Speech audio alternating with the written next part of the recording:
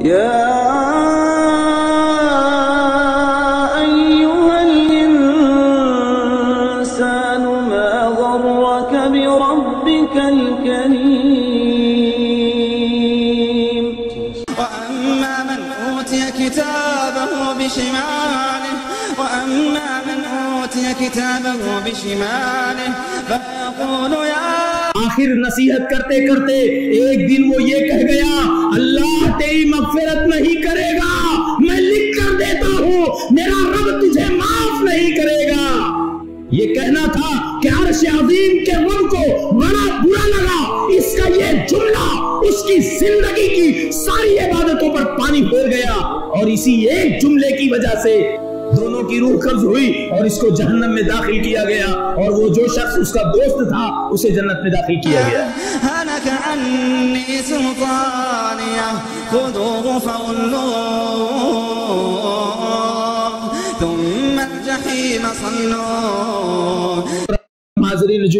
بزرگان دین، ملت کے بہی خواہ، دردمند نوجوان ساتھیوں، مومنہ ماں اور بہنوں، سب سے پہلے ہر قسم کی تعریف و توصیف، بڑائی، بزرگی، کبریائی، عظمت و جلال، حمد و ثنا اور شکر و سپاس ہو اس اللہ عظیم وحدہ لا شریک احد و سمت کے لیے، جس نے اس نظام کائنات کو بنایا، حلال و حرام کی تمیز مسلمانوں کو عطا کی اور اسلام اور توحید جیسی نعمتیں عطا فرمائی۔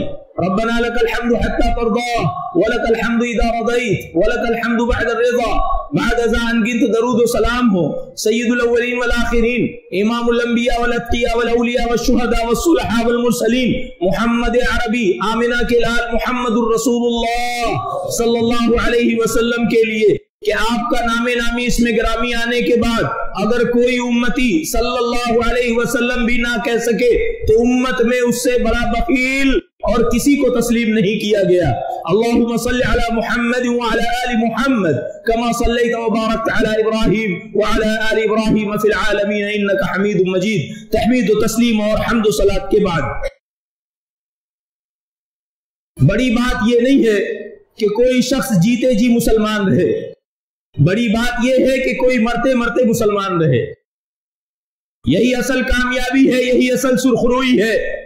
اسی نزاکت کو سمجھنا مسلمانوں کے لیے کامیابی کی دلیل ہے۔ اللہ رب العالمین نے اس آیت کریمہ میں فرمایا، جس آیت کو جناب رسول اللہ صلی اللہ علیہ وسلم نے اپنی نبوتی زندگی کے ہر جمعہ کے خطبے میں اور عام خطابات میں تلاوت کیا ہے۔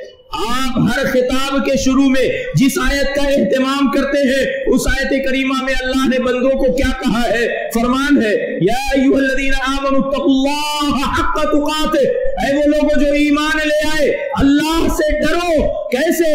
جیسے اللہ سے ڈرنے کا حق ہے، آسمان و زمین کے رب سے کیسے ڈرا جا سکتا ہے؟ خالق کائنات، مالک ارض و سماوات کا خوف دلوں میں کیسا ہونا چاہیے؟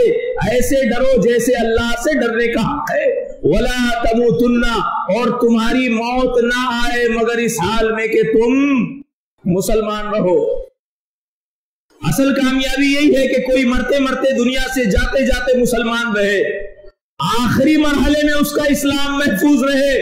کئی ایسے لوگ ہیں جنہوں نے شروع میں کئی کلاسیں پاس کر لی لیکن ڈگری کے سال ناکام ہو گئے۔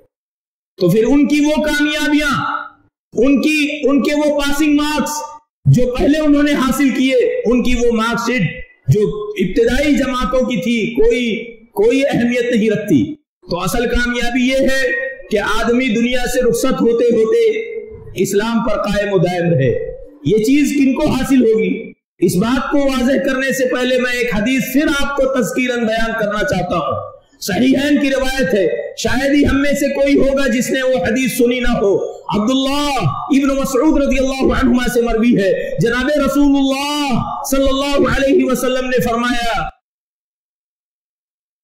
ایک لمبی حدیث کا آخری ٹکڑا ہے وَإِنَّا أَحَدَكُمْ لَيَعْمَلُ بِعْمَلِ أَهْلِ الْجَنَّةِ حَتَّى مَا يَكُونُ بَيْنَهُ وَبَيْنَهَا إِلَّا ذِرَاعَ فَيَسْبَقُ عَلَيْهِ الْكِتَابِ فَيَعْمَلُ بِعْمَلِ أَهْلِ النَّارِ فَيَدْخُلُهَا وَإِنَّ أَحَدَكُمْ وَإِنَّ أَحَدَكُمْ لَيَعْمَلُ بِعْمَلِ أَهْلِ النَّارِ حَتَّى مَا يَكُونُ بَيْنَهُ وَبَيْنَهَا إِلَّا ذِرَاعَ فَيَسْبَقُ عَلَيْهِ الْكِتَابِ فَيَعْمَلُ بِعْمَلِ أَهْلِ الْجَنَّةِ فَيَدْخُلُهَا تم میں کا کوئی شخص جنتیوں جیسا عمل کرتا ہے، نمازیں بھی پڑھ رہا ہے، روزے بھی رکھ رہا ہے، صدقہ و خیرات بھی کر رہا ہے، بڑی نیکیاں کر رہا ہے، دنیا اس کو دیکھ کر بڑا پرہیزگار سمجھتی ہے، دیندار سمجھتی ہے، لیکن دل کی حالت جیسے ایک پرہیزگار کی ہونا تھی، اس کی وہ حالت نہیں ہے۔ اللہ کا جو ڈر اور خوف سچے مومن بندے کے دل میں ہوتا ہے، وہ ڈر اور خوف اس کے دل میں نہیں ہے۔ عبادتیں تو کر رہا ہے، مگر عبادت کا غرہ ہے۔ عبادتیں تو کر رہا ہے، مگر اپنی عبادتوں کا غرور ہے۔ یہی غرور اس کو ایسا لے ڈوبے گا کہ اس کی یہ عبادتیں کام نہیں آئے گی۔ پھر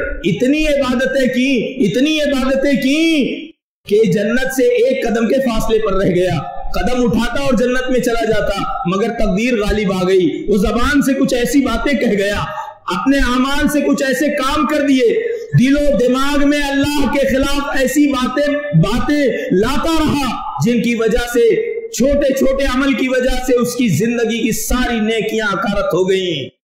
برباد ہو گئیں، تباہ و برباد ہو گئیں۔ اور اس آخری مرحلے میں وہ جہنم رسید ہو گیا۔ جنت سے ایک قدم کے فاصلے پر رہ گیا تھا۔ تھوڑی اور کوشش کرتا، جنت میں چلا جاتا، مگر تقدیر غالب آئی اور جہنم میں داخل ہوا۔ تم میں کا کوئی شخص جہنمیوں سے عمل کرتا ہے؟ ارے دنیا اس کو گنہگار سمجھتی ہے۔ چوری، ڈکیتی سے لے کر ہر برا کام کرتا ہے، مگر اس کے دل میں ندامت ہے، اس کے دل میں شرمندگی ہے۔ اللہ کا سچا خوف ہے۔ رات کے کسی پہر میں سچی توبہ کرتا ہے، صحیح معنوں میں روتا گڑ گڑاتا ہے، توبہ اور استغفار کرتا ہے، اور جب اس کے، اس کا رب اس کے گناہوں کو معاف کر دے، تو دنیا کی کوئی طاقت اس کو عذاب دے سکتی۔ وہ جب اللہ کسی کے گناہ کو معاف کر دے، تو صرف معاف ہی نہیں کرتا، ساتھ میں اللہ رب العالمین مغفرت کا ایسا نذرانہ پیش کرتا ہے کہ جتنے اس کے گناہ تھے اتنی وہ نیکیاں لکھ لیتا ہے۔ اللہ جب معاف کرنے پر آئے تو انعام اور اکرام عطا کرتا ہے۔ جتنے گناہ کیے تھے اتنی نیکیاں لکھ دیتا ہے۔ پھر اس کے سچے توبہ اور استغفار کی وجہ سے، اس کے اخلاص و للہیت کی وجہ سے، اس کی خشیت، اس کی ندامت اور اس کی شرمندگی کی وجہ سے، اس کی، اس کے خلوص اور اس کی خشیت کی وجہ سے اللہ اس کے گناہوں کو نیکیوں میں بدل کر اس کو جنت میں داخل کر دیتا ہے۔ ارے وہ کچھ دیر پہلے، سانس اکھڑنے سے پہلے، دو چار ہفتہ پہلے، ہفتہ دس دن پہلے جہنم کے دہانے پر تھا، ایک قدم اٹھاتا اور جہنم میں چلا جاتا، مگر اس کا وہ ڈر، وہ خوف جو دل کے کسی خانے میں تھا، سامنے آ گیا پرہیزگاری کی شکل اختیار کر گیا اور اس کا وہی عمل اللہ کو پسند آیا اور اپنے اس عمل کی وجہ سے وہ جنت میں داخل کیا گیا۔ تو معلوم یہ ہوا، آخری سانس تک کوئی اس بات کی گارنٹی نہیں دے سکتا کہ میں جنتی ہوں فلا شخص جہنمی ہے۔ اگر اس بات کو اور زیادہ واضح انداز سے سمجھنا ہے، میں آپ کو کچھ مثالیں دیتا ہوں۔ شیخ ابن حبان رحمہ اللہ نے عبداللہ ابو ابو ذر غفاری رضی اللہ عنہ سے روایت نقل کی ہے کہ جناب رسول اللہ صلی اللہ علیہ وسلم نے فرمایا، بنی اسرائیل میں ایک شخص تھا۔ عبادت خانے میں ہی رہتا تھا۔ سماج سے کٹ کر ایک ایک ٹیکڑی پر، ایک پہاڑ کی چوٹی پر عبادت خانہ تھا۔ اسی عبادت خانے میں ہمیشہ اللہ کی جناب میں حاضری دیے رہتا تھا، روتا تھا گر تھا، سجدہ اور رکو کرتا تھا، عبادتیں کرتا تھا۔ اچانک کھڑکی سے ایک مرتبہ اس کی نظر نیچے کی طرف پڑی نیچے کی طرف پڑھی، اس نے سوچا میں نیچے کی طرف جا کر کے کچھ دیر اللہ کی عبادت کروں گا، اوپر تو میں نے عبادت کر لی، کچھ نچلے حصے میں بھی زمین کے عبادت کر لوں۔ نیچے عبادت کی غرض سے اترا۔ نیچے اترنا تھا کہ تھوڑی دیر کے بعد ایک خاتون آ گئی، ایک عورت آ گئی اور اس نے موقع کو غنیمت جان کر اس سے بدکاری کر لی۔ تالاب کے کنارے اپنے عبادت خانے سے باہر آیا تھا۔ عبادت نیچے آ کر کرنے کا ارادہ کیا تھا۔ عورت کی خوبصورتی پر فریفتہ ہو گیا اور اس نے گناہ کر لیا، بدکاری کر لی۔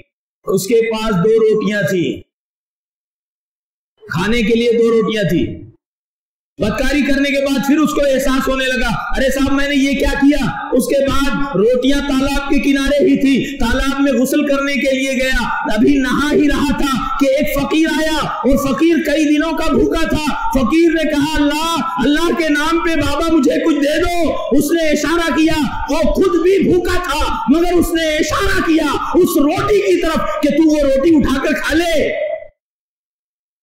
جناب رسول اللہ فرماتے ہیں صلی اللہ علیہ وسلم، اس لڑکی سے جو اس نے بدکاری کی تھی، اللہ اتنا ناراض ہوا کہ اس اس کے اس گناہ کو، اس کی سابقہ زندگی کی ساری نیکیوں کے مقابلے میں رکھا گیا، تو وہ گناہ بھاری پڑ گیا اس کی ساری عبادتوں پر۔ اور جب اس اس گناہ کے مقابلے میں اس روٹی کی خیرات و صدقات کو تولا گیا، تو اس کی، اس کے صدقہ و خیرات بھاری پڑ گئے۔ اور اسی وجہ سے وہ جنت میں داخل کیا گیا۔ معلوم یہ ہوا کہ آخری مرحلے میں کون کس راستے سے گزرے گا؟ سانسیں کب اکھڑیں گی؟ کس حالت میں؟ دل و دماغ کی حالت کیا ہوگی؟ زبان پر کون سے کلمات ہوں گے؟ تصورات کیا ہوں گے؟ عمل کون سا جاری ہوگا؟ کسی کو نہیں معلوم۔ کئی ایسے ہیں جو بڑے گنہگار تھے، لیکن نماز نماز میں آئے، سجدے کی حالت میں ان کی وفات ہو گئی۔ خانے کعبہ گئے، عمرے کے دوران جن کو دنیا گنہگار سمجھتی تھی، جن کو تانے دیتی تھی، جن کو برا بھلا کہتی تھی، وہ حج کے احرام کی حالت میں شہید ہو گئے، وفات پا گئے۔ احرام کی حالت میں وفات پا گئے۔ کہیں جا کر اللہ کی اللہ کی رضا کے لیے شہید ہو گئے۔ لیکن کئی ایسے تھے جن کی عبادت سے لوگ متاثر تھے اور ان کی وفات برے سے برے انداز سے ہوئی۔ تو کبھی بھی اس بات کا دل و دماغ میں خیال اور وہم تک نہیں آنا چاہیے کہ ہماری عبادتیں اتنی زیادہ ہیں کہ ہماری موت اسلام پر ہی ہوگی۔ اللہ سے ہمیشہ دعا، جستجو طلب کے ساتھ ہمیشہ زندگی بسر کرنا ضروری ہے۔ جن لوگوں نے، جن لوگوں کو عبادت کے غرے نے دھوکے میں رکھا، عبادت کا جن کو دھوکا رہا، وہ ہمیشہ تباہ و برباد ہی ہوئے۔ یہ دنیا کی تاریخ رہی ہے۔ میں اور ایک دو مثال عرض کر دوں۔ بنی اسرائیل ہی کے دو شخص تھے۔ دو سگے بھائی تھے۔ ایک بھائی اوپر رہتا تھا، ایک بھائی نیچے رہتا تھا۔ نیچے والا بھائی بڑی عیاشی میں مبتلا رہتا تھا۔ گانا بجانا ہر طرح کے گناہ گناہ میں ملوث رہتا تھا۔ اوپر کا بھائی بڑا دیندار اور پرہیزگار تھا۔ لیکن فرق یہ تھا، اس گنہگار کے دل میں اللہ کا خوف چھپا ہوا تھا، اسے ندامت تھی، شرمندگی تھی، اپنے آپ پر پچھتاوا تھا اور بڑا بھائی تھا، جس کو اپنی عبادتوں کا غرور تھا، اپنی عبادتوں کا دھوکہ تھا۔ یہی چیزیں ان کے دل میں تڑپ رہی تھی۔ اچانک ایک دن کا واقعہ ہے۔ عبادت گزار بھائی نے سوچا، کیوں نہ میں نچلے منزلے میں جا کر تھوڑی میں بھی عیاشی کر لوں، تھوڑی میں بھی رنگ رلیاں منا لوں، میں تو ایسے بھی اتنا پرہیزگار انسان ہوں، دوبارہ آ کر میں توبہ اور استغفار کر لوں گا۔ نیچے سے بھائی، اپنے تمام گناہوں سے سچی توبہ کر کے یہ سوچ کر اوپر چڑھ رہا تھا کہ آج آج وہ دن ہے، بار الہ کی جناب میں سچی توبہ کرنے کے لیے حاضر ہوں اور اپنے بڑے بھائی جو بڑے پرہیزگار ہیں، ان کی جناب میں جا کر اپنے گناہوں کا اقرار کروں گا اور اپنے گناہوں کو تسلیم کروں گا اور کہوں گا، بھیا، مجھے کوئی ایسا عمل بتا دو جس کی وجہ سے میں اللہ رب العالمین کے عذاب سے محفوظ رہ جاؤں۔ بھائی سچا ڈر لے کر اوپر چل رہا ہے اور دوسرا بھائی عبادتوں کا غرور لے کر نیچے اتر رہا ہے۔ ایک کی نیت برائی کرنے کی ہے، ایک کی نیت نیکی کرنے کی ہے۔ وہ جو ہمیشہ عبادت کرتا تھا اس کا آخری مرحلہ آ گیا۔ وہ جو ہمیشہ گناہ کرتا تھا، اس کا بھی آخری مرحلہ آ گیا۔ ایک اوپر چل رہا ہے، ایک نیچے اتر رہا ہے۔ اچانک اوپر کا شخص دھام سے گرا، نیچے والے پر، اور اسی وقت دونوں کی روح قبض کر لی گئی۔ اوپر والے کو جہنم میں داخل کیا گیا، اور نچلے منزلے میں عیاشی کرنے والے کو اپنی سچی آخری نیت کے بقدر جنت میں داخل کیا گیا۔ وہ امام مسلم رحمہ اللہ نے نقل فرمایا، جناب رسول اللہ صلی اللہ علیہ وسلم نے فرمایا، یوبعث کل احد علی ما مات علیہ، ہر شخص کو، ہر شخص کو اسی نیت کے مطابق اٹھایا جائے گا جس نیت پر اس کا خاتمہ ہوا ہے۔ آخری مرحلہ دیکھا جائے گا۔ معلوم کیا ہوا؟ معلوم یہ ہوا کہ انسان کو اپنی عبادت کا غرور نہیں ہونا چاہیے، ورنہ اللہ رب العالمین پوری زندگی کے اعمال کو برباد کر سکتا ہے۔ ایسے ہی ایک روایت ہے، امام احمد بن حمل رحمہ اللہ نے، ان کے علاوہ دیگر محدثین نے دو اشخاص کا واقعہ نقل کیا ہے۔ جناب رسول اللہ صلی اللہ علیہ وسلم نے فرمایا، بنی اسرائیل میں دو دوست تھے۔ دونوں دوست کی حالت یہ تھی، ایک گنہگار تھا اور ایک بڑا پرہیزگار نیک تھا۔ اس پرہیزگار آدمی نے ہمیشہ اس گنہگار آدمی کو نیچی نظر سے دیکھا تھا، حقارت سے دیکھا تھا، ہمیشہ اس کو جہنمی سمجھتا تھا۔ پھر نصیحت کرتے کرتے ایک دن وہ یہ کہہ گیا، اللہ تیری مغفرت نہیں کرے گا، میں لکھ کر دیتا ہوں، میرا رب تجھے معاف نہیں کرے گا۔ یہ کہنا تھا کہ عرش عظیم کے رب کو بڑا برا لگا، اس کا یہ جملہ، اس کی زندگی کی ساری عبادتوں پر پانی پھیر گیا اور اسی ایک جملے کی وجہ سے دونوں کی روح قبض ہوئی اور اس کو جہنم میں داخل کیا گیا اور وہ جو شخص اس کا دوست تھا، اسے جنت میں داخل کیا گیا۔ کیوں؟ کیوں؟ اس لیے اللہ نے پوچھا روح قبض کرنے کے بعد تو نے کس بنیاد پر یہ گارنٹی دی کہ اللہ تیری مغفرت نہیں کرے گا؟ تو نے کس بنیاد پر اپنے بند اپنے دوست کے بارے میں اللہ کی اللہ کی جو مرضی تھی اس کے بارے میں تو نے کیوں گواہی دی؟ کیوں تو نے گارنٹی لی؟ مغفرت تیرے ہاتھ میں ہے کہ میرے ہاتھ میں ہے؟ رحمت تیرے ہاتھ میں ہے کہ میرے ہاتھ میں ہے؟ معلوم یہ ہوا کوئی شخص اگر کسی کو کہتا ہے تیری بخشش نہیں ہوگی تیری مغفرت نہیں ہوگی تو اسے سچی توبہ کرنے کی ضرورت ہے۔ اس لیے کہ رحمت و مغفرت کا سارا اختیار اللہ حضل جلال کے پاس ہے۔ بندہ ایسا کیوں کہتا ہے؟ جب اس کو اپنی عبادتوں پر غرور ہوتا ہے۔ تو عبادتوں کا غرور ہوگا۔ انسان کو جہنم میں لے کر چلا جائے گا۔ سچے مومنوں کی حالت یہ ہے کہ وہ راتوں رات اللہ کی جناب میں روتے ہیں گڑ گڑاتے ہیں۔ پھر بھی اس بات کے لیے فکر مند ہوتے ہیں کہ ہماری عبادتیں اللہ کی جناب میں قبول ہو رہی ہیں کہ نہیں ہو رہی ہے روتے ہیں گڑ گڑاتے ہیں۔ ساری عبادتوں کے باوجود بھی سچے پرہیزگار وہ ہیں جو اپنی عبادتوں کے قبول ہونے، نہ ہونے کے لیے فکر مند ہوتے ہیں۔ اس پر جتنی باتیں کی جائیں، کم ہے۔ میں اشارتاً کچھ باتیں اور عرض کرنا چاہتا ہوں اور آج یہ مسلسل موضوع آج ہی ختم کرنا بہتر اور مناسب ہوگا۔ میں میں نے قرآن کریم کی ایک آیت کریمہ آپ کے سامنے عرض کی ہے۔ اللہ نے فرمایا، یا ایوہ الذین آمنوا، اے وہ لوگوں جو ایمان لے آئے، لا یسخر قوم من قوم عسى ان يكونوا خيرا منهم تم میں سے کوئی کسی کو اپنے سے کہ کوئی کسی کا مذاقہ نہ کرے ٹھٹھا نہ اڑائے، مذاق نہ اڑائے۔ کیوں؟ اس لیے کہ تم میں کوئی نہیں جانتا جس کا مذاق اڑایا جا رہا ہے۔ اللہ کی نظر میں وہ اس سے بہتر ہے جو مذاق اڑانے والا ہے۔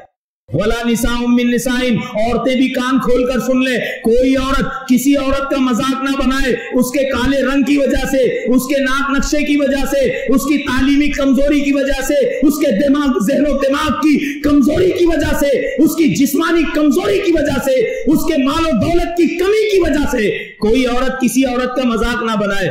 اللہ اللہ یہ جانتا ہے، ہو سکتا ہے کہ جس عورت کا مذاق اڑایا جا رہا ہے، وہ اللہ کی نظر میں اس عورت سے کہیں زیادہ بہتر ہو جو عورت مذاق اڑانے والی ہے۔ ولا تنابزوا بالالقاب اللہ نے فرمایا، ولا تلبزوا انفسکم ولا تنابزوا بالالقاب کسی کی آیت جوئی مت کرو آپس میں، کسی کو برے برے القاب سے مت پکارو۔ بیس الاسم الفسوق، بیس الاسم الفسوق بعد الایمان۔ یہ یہ تو بہت بری بری نافرمانی ہے۔ اطاعت سے نکل جانے والی بات ہے، ایمان لانے کے بعد۔ ومن ومن لم يتب، ومن لم يتب فاولئك هم الظالمون۔ اور جس نے کسی کا مذاق اڑایا، جس نے کسی کو حقیر سمجھا، جس نے کسی کی، کسی کو رسوا کرنے کی کوشش کی، جس نے کسی کی عزت نفس سے کھیلا، اگر اس نے توبہ نہیں کیا، توبہ نہیں کیا فاولئك هم الظالمون۔ تو اصل ظالم یہی لوگ ہیں۔ آپ میں سے کون ہے جس کا بینک اکاؤنٹ نہ ہو؟ اکثر لوگوں کے بینک اکاؤنٹ ہے آپ پیسہ ڈال رہے ہیں، پیسہ آپ سیو کر رہے ہیں اور آپ کو میسج آتا ہے کہ آپ دس لاکھ روپے ڈالے ہیں، آٹھ لاکھ روپے آپ کے ختم ہو گئے۔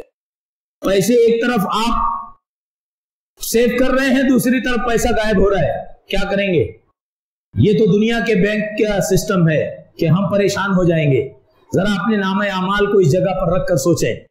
ہمارے سجدے جمع ہو رہے ہیں، ہماری نیکیاں جمع ہو رہی ہیں، ہماری عبادتیں جمع ہو رہی ہیں، لیکن پتہ یہ چلے گا کل قیامت کے دن کہ ایک طرف سے جمع ہو رہی تھی، دوسری طرف سے نکل رہی تھی۔ کیوں؟ میں نہیں کہتا، کسی مفتی کا فتویٰ نہیں ہے۔ جناب رسول اللہ اللہ صلی اللہ علیہ وسلم نے فرمایا، امام مسلم نے کتاب المظالم میں روایت نقل کی ہے۔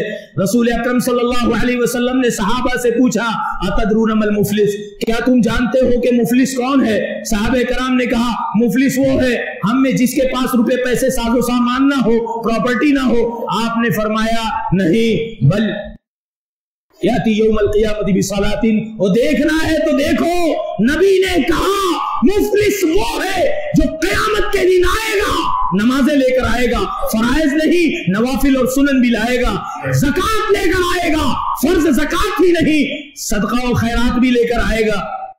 وقت سے تمہادا مگر کسی کو گالی دی ہوگی۔ وقت اکلمال کسی سے قرضہ لیا ہوگا، ڈبا دیا ہوگا۔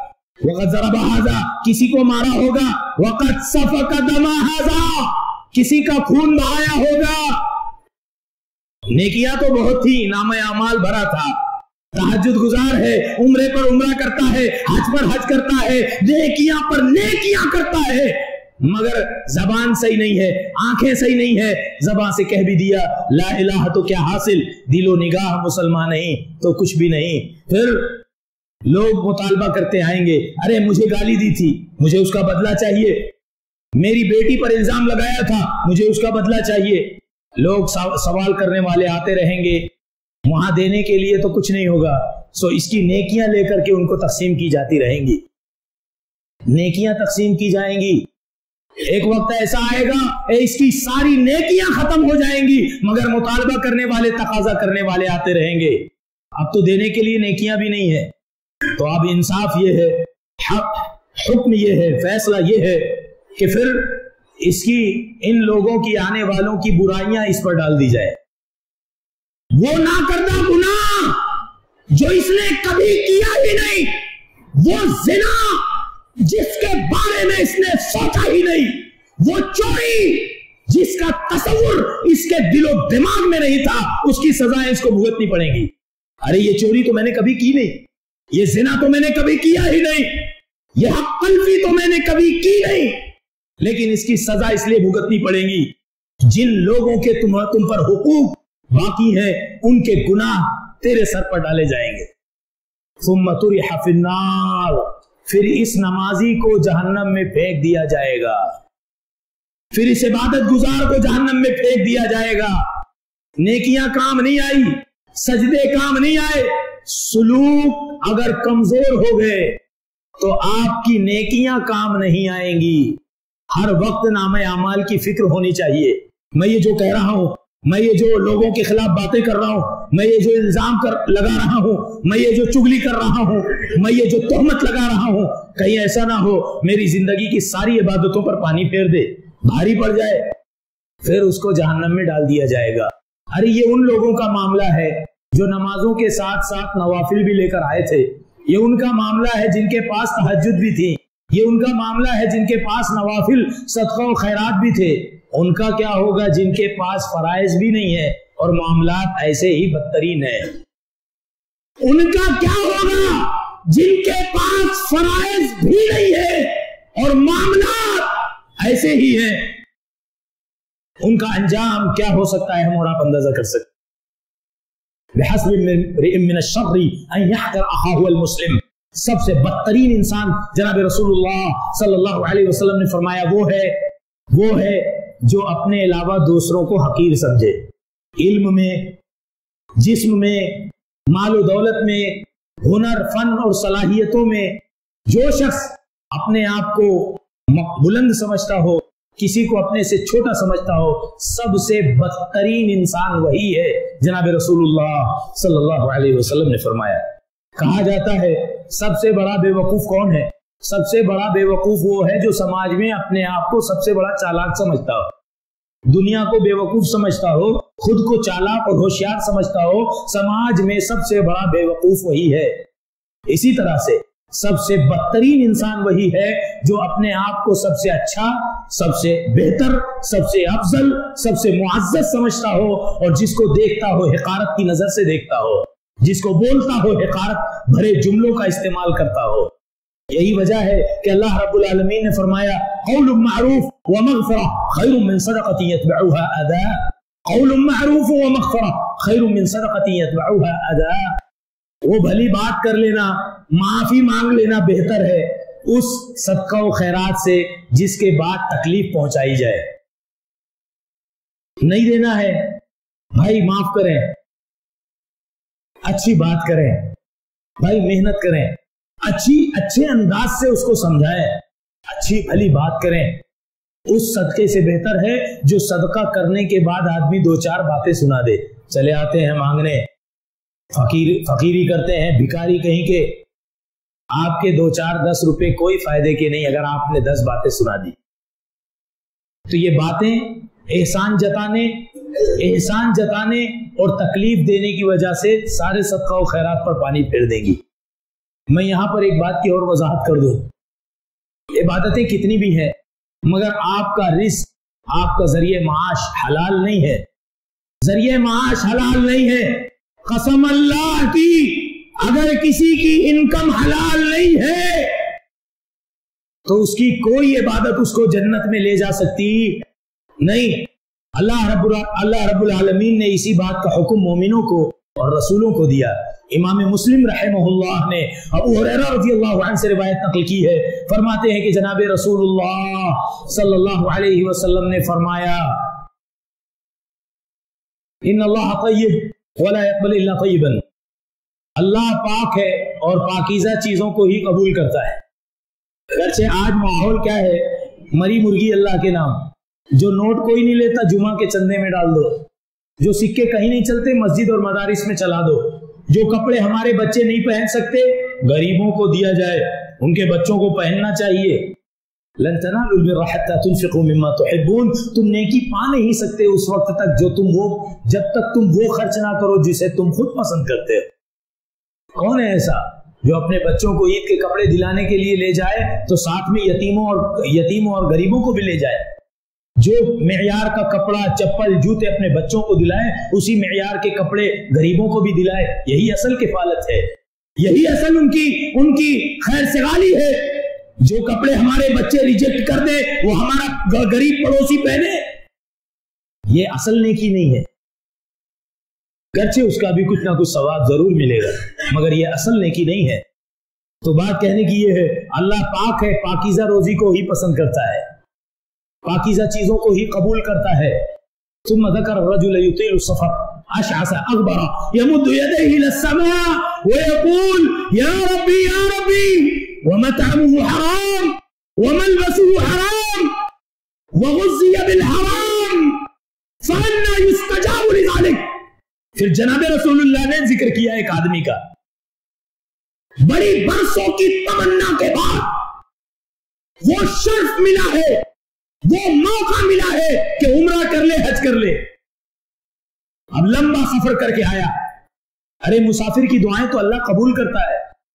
پراگندہ بال، پراگندہ لباس، پراگندہ جسم۔ ایسے مسافر کی چاہے وہ سفر کہیں کا بھی کر رہا ہو، اس کی دعا تو اللہ قبول کرتا ہے۔ لیکن یہ سفر سب سے بلند ہے۔ یہ خانہ کعبہ کا سفر ہے۔ اللہ کے گھر کا سفر ہے۔ عمرہ اور حج کا سفر ہے۔ یہ تو عام سفر جیسا نہیں، بڑا بزرگ، بڑا بڑا بلند سفر ہے۔ آیا ہے کہاں؟ حجر اسود کے سامنے۔ حجر اسود اور خانہ کعبہ کے دروازے کے درمیان جو ملتظم ہے، جہاں دعائیں رد نہیں ہوتی۔ بیٹھا ہے کہاں؟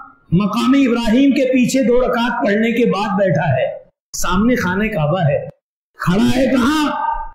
وہ نیزاب رحمت جہاں خانہ کعبہ کی چھت کا پانی گرتا ہے، وہ اس دائرے میں حتیم اور حجر کے علاقے میں کھڑا ہے، جہاں دعائیں قبول ہوتی ہے۔ عرفات کے میدان میں ہے، جہاں دعائیں رد نہیں ہوتی۔ ارے وہ صفا اور مروہ کے درمیان صحیح کر رہا ہے۔ صفا پر کھڑا ہو کر خانہ کعبہ کی طرف دیکھ کر دعائیں کر رہا ہے۔ مروہ پر کھڑا ہو کر دعائیں کر رہا ہے۔ یہ تو وہ جگہ ہیں جہاں دعا رد نہیں ہوتی، مگر روتا ہے گڑ گڑاتا ہے۔ دونوں ہاتھ اٹھائے ہیں۔ یا ربی یا ربی، دنیا کے کسی کونے سے آیا ہے۔ بڑی حاجت لے کر آیا ہے۔ بڑی آرزو لے کر آیا ہے۔ روتا ہے گڑ گڑاتا ہے۔ مگر اللہ جواب دیتا ہے۔ فرشتے کہتے ہیں، اس کا لباس جو اس نے زیب تن کیا ہے، دوسروں کا دل دکھا کر حاصل کیا ہے۔ اس کا کھانا، اس کی خوراک، اس کا معاش و معیشت حرام ہے۔ اس کا کاروبار حرام ہے۔ فانا یستجاب لذالک فانا یستجاب لذالک تو خانہ کعبہ کے پاس جا کر بھی دعائیں قبول نہیں ہوتی۔ عمرہ اور حج قبول نہیں ہوتے۔ حرام مال کی وجہ سے۔ اللہ کے نبی علیہ السلام نے فرمایا، اللہ نے رسولوں کو بھی اسی بات کا حکم دیا۔ جس بات کا مومنوں کو حکم دیا، یا ایوہ الرسل کلو من الطیبات وعملوا صالحا۔ او میسنجر اے رسولو، پاکیزہ روزی ہی کھاؤ، نیک اعمال ہی کرو۔ مومنوں سے بھی کہا، یا ایوہ الذین آمنو کلو من طیبات ما رزقناکم مشکورو للہ۔ ہم نے جو تمہیں پاکیزہ روزی دی ہے، وہی کھاؤ۔ اللہ کا شکر بجا لاؤ، اگر تم اسی کی عبادت کرتے ہو۔ ذرا ہم غور کریں، ہمارا کاروبار کسی کی زمین کو ہڑپنے کے بعد تو نہیں شروع ہوا۔ ہمارا کاروبار کسی کے دل دکھا کر جمع کیے ہوئے پیسوں سے تو نہیں شروع ہوا۔ ہمارا کاروبار، ہمارا گھر بار یتیموں کے سہارے تو نہیں شروع کیا گیا۔ ہمارا کاروبار سودی لین دین پر تو نہیں بنیاد رکھی گئی۔ ہماری معیشت کی بنیاد رشوت پر تو نہیں ہے۔ اگر ان میں سے کوئی ایک چیز ہے یا ان جیسی سینکڑوں حرام چیزیں ہیں تو حقیقت یہ ہے کہ پھر ہم اور آپ ایک ایسی جگہ صحیح کر رہے ہیں، ایسی چیزیں، ایسی ایسی عبادتوں میں کوشش کر رہے ہیں جو رنگ نہیں لائے گی اور کوئی نور اور کوئی روحانیت پیدا نہیں کرے گی۔ تو ضرورت اس بات کی ہے کہ ہم اپنے کاروبار کو حلال بنائیں۔ حلال بنائیں حلال بنائیں، حرام مال سے اجتناب کریں۔ کسی موقع سے اس پر تفصیلی گفتگو ہوگی۔ میں یہاں یہ بات بھی واضح کروں سماج اور معاشرے میں مسلمانوں کے کچھ شعبے جات ہونے چاہیے۔ جو مسلم معاشرے کے نوجوانوں کو حرام کاروبار سے روکیں۔ کئی لوگ ہیں، جانتے ہیں کہ یہ سود ہے مگر لینے پر مجبور ہیں۔ فائنانسر کے پاس جاتے ہیں، فائنانس لینے پر مجبور ہے ایسا قرض لینے پر مجبور ہے جو سودی قرض ہے، سودی لین دین ہے۔ ان غریبوں کا حال معلوم کریں۔ صحابہ کرام ڈھونڈ ڈھونڈ کر معلوم کرتے تھے، فلاں کی کیا پریشانی ہے؟ کیوں فلاں ایسا کام کر رہا ہے؟ اسی لیے جب تک ایسا کوئی شعبہ، ایسی کوئی تنظیم ہمارے سماج اور معاشرے میں نہیں ہوتی، جو مسلم معاشروں کو ڈھونڈ ڈھونڈ کر ان کے، ان کو فائنینشلی مدد کرے، ان کو معاشی اعتبار سے تعاون کرے، تب تک کہ کوئی قوم اور قوم کی اکثریت حرام مال سے بچ نہیں سکتی۔ میں آخر میں یہی کہوں گا کہ اپنے اعمال چاہے کتنے بھی ہوں، کتنے بھی اچھے ہوں، اللہ کی جناب میں توازو اور خاکساری ضروری ہے۔ بندوں کے ساتھ حسن سلوک اور حسن اخلاق ضروری ہے۔ اگر اللہ کی جناب میں توازو نہ ہو اور بندوں کے حقوق کی ادائیگی نہ ہو، تو حقیقت یہ ہے کہ انسان دنیا میں تو ناکام ہے۔ آخرت میں بھی ناکام ہوگا۔ ایک روایت جو میں نے اس سے پہلے کئی مرتبہ پیش کی ہے، اخیراً عرض کروں کہ صحیحین کی روایت ہے۔ معاذ ابن جبل فرماتے ہیں رضی اللہ عنہ کہ میں نبی علیہ السلاۃ والسلام کے ساتھ گدھے پر پیچھے سوار تھا۔ کنت ردیف النبی صلی اللہ علیہ وسلم علی حما فقال یا معاذ اتدری ما حق اللہ علی العباد وحق العباد علی اللہ اے معاذ کا تم جانتے بھی ہو اللہ کا بندوں پر بندوں کا اللہ پر کیا حق ہے تو میں نے کہا اللہ اور اس کے رسول بہتر جانتے ہیں تو نبی علیہ السلام نے فرمایا حق اللہ علی العباد ان يعبدوه ولا يشركوا به شيئا اللہ کا بندوں پر حق یہ ہے بندوں کے ذمہ حق یہ ہے کہ اللہ کے سوا کسی کی عبادت نہ کرے کسی کی رضا نہ چاہے کسی کا خوف نہ رکھے کسی سے امید اور طمع نہ کرے اللہ ہی کی عبادت کریں، ہر طرح کی تعظیم اللہ کی کریں۔ اگر وہ ایسا کر کے اس دنیا سے رخصت ہوں گے، تو پھر اللہ کے ذمے یہ حق ہے بندوں کا کہ وہ ایسے مومن بندوں کو جو توحید پر دنیا سے گئے ہیں، ان کو عذاب میں مبتلا نہ کرے حضرت معاذ نے فرمایا، افلا ابشر الناس؟ اے اللہ کے نبی، کیا میں یہ بشارت لوگوں کو نہ سنا دوں؟ آپ نے فرمایا، لا لا فیتکلو نہیں، کیوں نہیں؟ آپ نے فرمایا فیت تکیلو وہ بھروسہ کر کے بیٹھ جائیں گے۔ بھروسہ کر کے بیٹھ جائیں گے۔ ارے، ہمارے پاس تو توحید ہے، پھر ہم جو چاہے کریں۔ ہم اپنی زبان کا استعمال جیسے چاہے کریں۔ ہم اپنی آنکھوں کا استعمال جیسے چاہے کریں۔ ہم اپنے وقت کو، وقت، اوقات کو جیسے چاہے استعمال کریں، ضائع کریں۔ پھر وہ شبہات سے بچے ہوئے لوگ توحید پر رہتے ہوئے شہوات میں مبتلا ہوں گے اور یہ چیز ان کو توحید کے باوجود جہنم میں لے جانے کا سبب بنے گی۔ لا، لوگوں کو یہ مت بتانا، ورنہ کیا ہوگا؟ فیت تکیلو وہ بھروسہ کر کے بیٹھ جائیں گے۔ عبادتوں سے دور، من مانی زندگی بسر کریں گے۔ ان کو یہ غرہ ہوگا، ان کو یہ گمان ہوگا کہ ہمارے پاس توحید ہے۔ تو میرے بھائیوں کسی کہنے والے نے کہا تھا، جو کائنات کی سب سے جھوٹی بات ہے یہیں پر میں اپنی بات ختم کروں گا کہ فلاں فرد، فلاں قوم، فلاں جماعت، فلاں گروہ کا عقیدہ تو اچھا ہے، ذرا ان کے معاملات خراب ہے یہ بڑی جھوٹی بات ہے۔ کوئی قوم اگر ان کے معاملات خراب ہیں کوئی فرد اگر اس کے معاملات خراب ہیں تو یہ ہو نہیں سکتا کہ اس کا عقیدہ اچھا ہو، جس درخت کی جڑیں مضبوط ہو اس درخت کے پھل خراب نہیں ہوتے۔ اگر ہمارے معاملات خراب ہے ہماری آنکھیں خراب ہے ہمارا دل خراب ہے، بخیلی ہے، کینا ہے، کپٹ ہے، عداوت ہے، دشمنی ہے، غیبت اور چول کھوری ہے، الزام و اتحام ہے، لوگوں کی دل آزاری ہے، لوگوں کو حقیر سمجھنا ہے خود کا تکبر ہے، عبادتوں کا غرور ہے، معاملات خراب ہے ماں باپ نہ خوش ہے پڑوسی نہ خوش ہے رشتہ دار ناراض ہے بھیا، ابا اما بہن سب ناراض ہے تو حقیقت یہ ہے کہ اس درخت کی جڑیں کمزور ہے عقیدہ ہی کمزور ہے۔ جس فرد، جس قوم کا عقیدہ مضبوط ہوگا، اس کے معاملات روشن ہوں گے اور لوگ لوگ ان سے مستفید ہوں گے۔ اللہ رب العالمین ہم اور آپ کو زندگی کے ہر شعبے میں نفع بخش بنائے۔ لوگوں کو ہمارے ذریعے فائدہ ہی فائدہ پہنچے، ایسی ہماری ذات کو نفع بخش پروردگار بنا دے۔ عبادتوں اور عقیدے کے غرور اور خوش گمانی سے بچا کر حقیقی توازو اور خاکساری عطا فرمائے۔ اور بندوں کے حقوق کو ادا کرنے کی توفیق عطا فرمائے۔ اپنے گناہوں پر آنسو بہانے کی توفیق عطا فرمائے۔ آمین۔ اقول قول هذا واستغفر الله لي ولكم ولسائر المسلمين فاستغفروه انه هو الغفور الرحيم هلك عني سلطانيه خذوه فغلوه